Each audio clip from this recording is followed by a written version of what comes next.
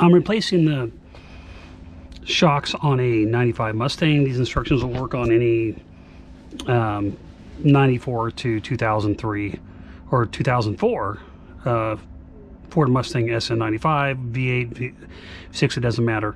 You do have to remove all the um, interior or the molding, I guess you would say, on the car when you um, get to get access to the shock towers. You don't have to remove this um, cover here, but I always remove it so I don't put a lot of pressure on it and break it. The key thing is that you will need to put a wrench to make sure this doesn't spin. Keep in mind, if you overspin this, taking it off without holding the top piece here, and you can use a, a you know, like a crescent wrench or, oh, a pair of, um, of, um, um, vice grips. The, but the biggest thing that you want to be concerned with when you do this is if you spin it too much, the shock will unscrew internally and blow up on you. So you want to make sure that you're not just spinning it.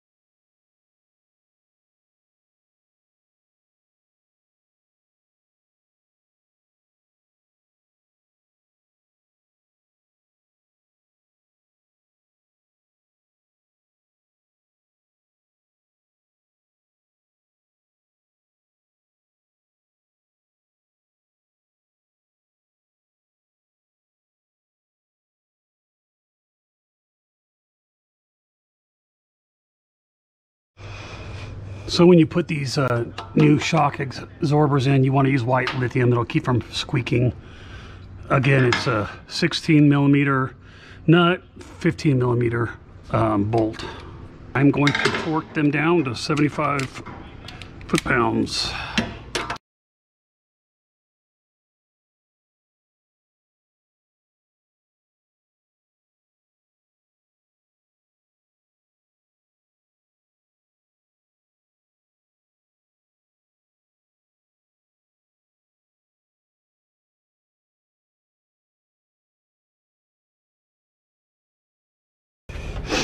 The general rule is once the shock starts to spin, do one full turn holding it down with it and that'll generally get you pretty safe.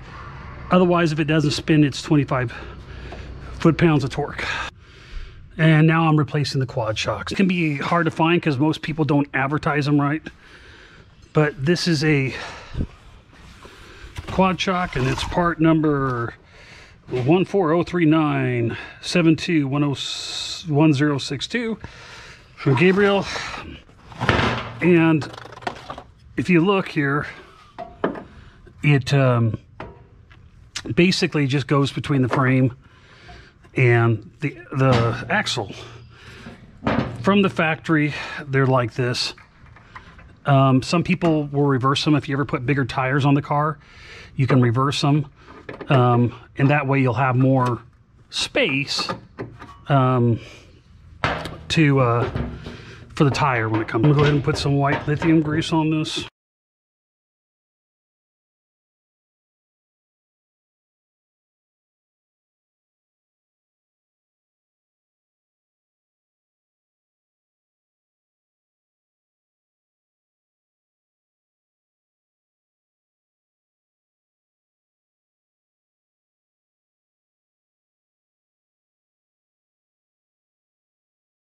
Fifty-seven foot-pounds on bolt nuts. On the bolt and the nut, I guess.